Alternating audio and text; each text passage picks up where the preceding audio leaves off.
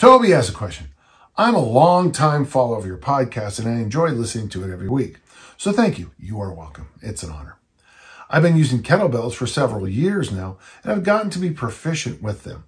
After listening to your podcast for so long, I have finally started to learn the Olympic lifts. Well, good for you. It's funny because so many of my li- listeners will learn the Olympic lifts by trying them out with broomsticks and going to their gym and learning. And yet some strength coaches don't think you can coach this, the Olympic lifts. It's, it's maddening to me. Good for you, Toby. And I've enjoyed learning them.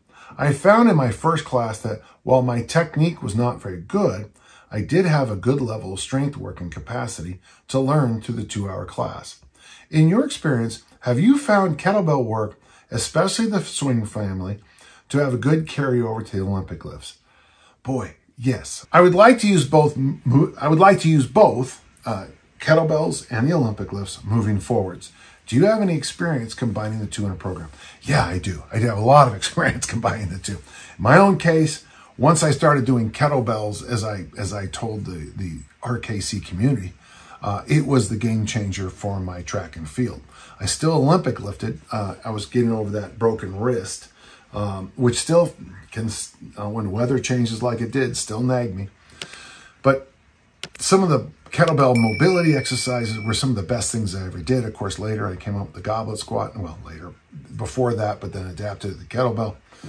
So yeah, so if you look at my programs like the perfect program, you'll notice that there's an exercise in there where we do goblet squats at the bottom. We put the weight down at the bottom, pick up a stick and stand up with it. It's the goblet squat to overhead squat drill. Um, that is a thing that every single thrower, American football player I coach, wrestler, heck, anybody I coach, that's an exercise they learn. Uh, it really destroys some people. They get exhausted doing it. They get exhausted doing it because of the flexibility mobility issues.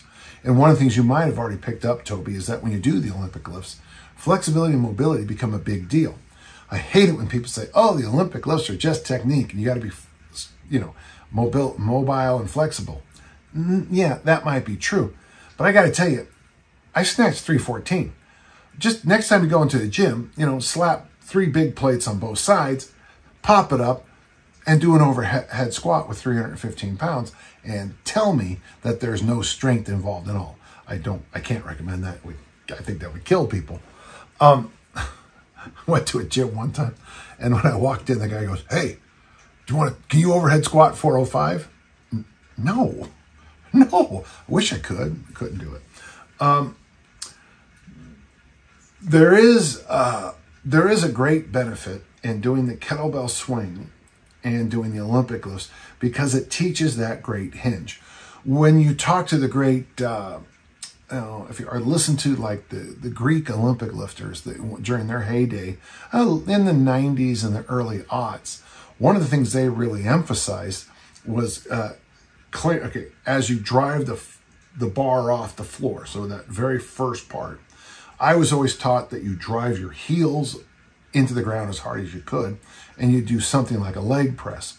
Well, they did a very similar concept. By the way, the Bulgarians with their heels only technique. Russ Knipp telling us one time that all the all the pull is is heels, heels, heels. Very similar, but the uh, the Greek lifters would try to think about pushing the knees back. It's the exact same concept because it gets you into that strong, massively strong hinge position. The nice thing about the sw- squat, uh, this pardon me, the swing, is that you get yourself in that hinge position and hinge plank, hinge plank, hinge plank. So if you do that, if you do swings in the warm up for your Olympic lifts, it gives you a very interestingly specific warm up, but it also gets you into that feeling of what you're trying to do. So I coach the uh, Olympic lifts kind of like a bow and arrow technique, I call it, where the chin and the and the butt are the tips of the arrow. And of course, the bow string is the hamstrings. And what, well, we're shooting them. The bow and arrow is going this way, okay? So what we're doing is we're trying to stretch those hamstrings so it, boom, snaps you up. The arrow is that, you know, that full tall position, the extension. I think the kettlebell swing does a good job reinforcing that movement. I think the goblet squat and the goblet squat into the overhead squat are just phenomenal warm up movements. If you ever see me lift at a meet, Toby, that is something you'll see me do. The goblet squat into the overhead squat. I mean, I've done it with plates, I've done it with dumbbells, I've done it with my bag one time at a meet. Um, they really didn't have a lot of equipment backstage, uh, and so I did. I used my uh, gym bag push my knees out. But I was, and I used the women's bar to stand up with, uh, just to get, you know, kind of warmed up, lub- lubricated. So, oh yeah. Um, now, when you combine them in a program, you, you've got two options here. First off, and I think this is the option I would push for most people who want to go on the platform and compete, is that your warm up might be a mini hardstyle kettlebell certification, and you find out more from that brilliant book, Hardstyle Kettlebell Challenge by hmm, who wrote that? Um, so in your your your warm ups for your your weightlifting, you could do some swings. I would suggest five sets of fifteen. Uh, 75 won't take very long. Uh, some of that goblet squat into overhead squat.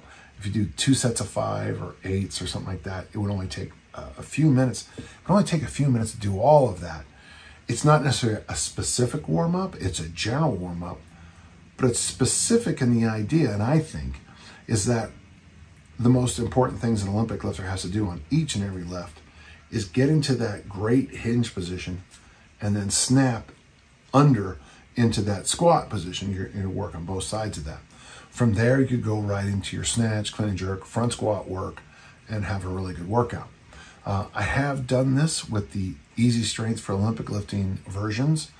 Um, yeah, um, it, it doesn't work perfectly for me, but you know, you could do something as simple as I always like to hang for 30 seconds and then sit at the bottom, a goblet squat for 30 seconds, stand up, shake it out, get those sets of five, uh, 15, 10, 15 reps, five rounds. So 50 to 75 swings, as I noted earlier. And then now go over to the barbell, maybe do some specific little, you know, empty barbell practice movements. Make sure everything's, you know, where it should be. And then get your snatch. Then you get your clean and jerk. Uh, and then if you front squat, get your front squats in. After you do that, a set of ab wheels and a walk, and you've got a pretty good day. Um, the only thing you might want to drop out for some of us is those extra front squats if you don't need them. Uh, sadly, I always need extra front squat work, so I have to do it no matter what. Um, there is a wonderful what the heck effect from kettlebell swings. Uh, the first time I published an article with kettlebells was called the what the heck effect. It's when I added 70 feet to my javelin throw. I was a weight pentathlon uh, athlete and I held the American record for a long time.